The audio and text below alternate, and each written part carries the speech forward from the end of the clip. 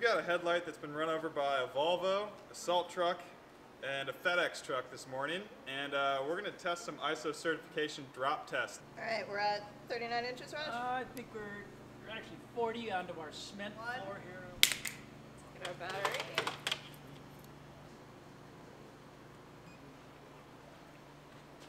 There you have it. ISO says one meter.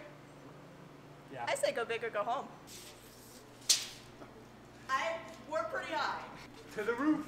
About 15 feet at my hand here. Now I'm five feet tall. 20 feet. 20 feet. We're going as big as we can.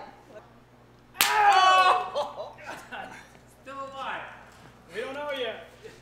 Plug it in, Christian. No! That's great. That's great. Now that is durability.